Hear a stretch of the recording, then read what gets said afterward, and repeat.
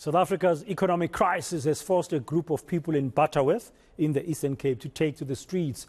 This group, together with the DA, marched to the Provincial Department of Social Development to plead for help as the cost of living continues to rise. Our reporter Ronald Masinda was there and is joining us now to tell us exactly how this march uh, played out today. Good afternoon, Ronald. Thank you for your time on today this afternoon. So, what have some families in the Eastern Cape told you about their struggles due to this high cost of living crisis?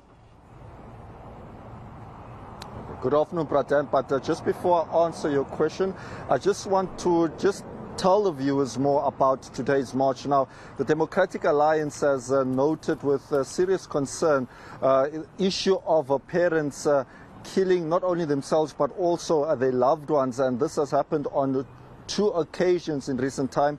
Uh, the recent one was in Lusikisiki, where a parent uh, killed three of her children, as well as an incident that took place in Butterworth. And uh, these incidents, uh, we have been told, are related to the issue of hunger in the province. People are especially living in dire poverty.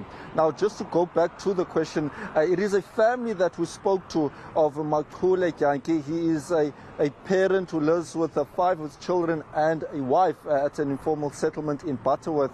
Now, the concerns for this particular family is that they just don't know where they'll get their next meal from everyone in the family does not have an ID, so it makes it very difficult for them to apply for social grants and other benefits that come with government. But also, on top of that, uh, their only source of income is selling wood.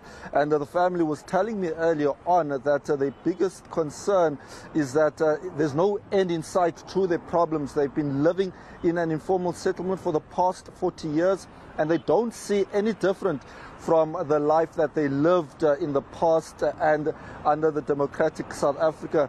Uh, the parent, uh, Yankee, was only uh, working uh, the last time, uh, that was back in 1983 in the mines, and since then, no one in the family is employed. So they say that they are urging a government to at least try and assist them in trying to lower the cost of living because they cannot even afford a meal per day. I mean, they survive on uh, stave pap daily, and uh, this for them is just not normal.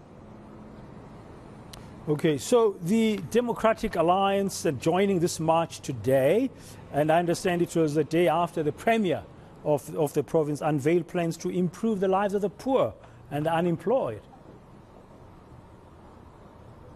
Yes, indeed. And uh, big talk from the Premier uh, yesterday uh, talking about a special team that also consists of uh, heads of department to help accelerate not only economic growth but also to help those who are in dire need of jobs. Uh, as the Democratic Alliance uh, said earlier today that this is the worst affected province in terms of unemployment and it is still by far the most, uh, uh, you know, poorest province in the country. So they say that now is high time because, uh, according to them, the ANC has also not uh, provided for the 26 uh, food gardens uh, that they used to. And this is cause for concern in terms of food security. And not only that, around the country, there's at least 41% uh, of families who cannot afford to put food on the table.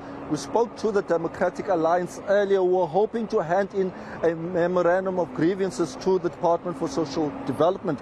But the leader of the Democratic Alliance here in the Eastern Cape, Andrew Whitfield, says that the department was a no-show. Sadly, the Deputy Director of the department refused to come and accept a memorandum after previously agreeing to do so.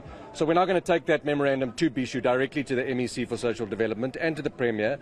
There are a number of interventions and proposals that we've made around uh, the, the, cost of living, sp specifically around VAT and, and zero-rated goods and making sure that we can identify products that the poorest South Africans need to survive and to bring the cost of those food prices down. We've also highlighted the, the cost of fuel, which drives up obviously inflation and the cost of living for ordinary South Africans. There was uh, Ronald Masinda the, in the Eastern Cape.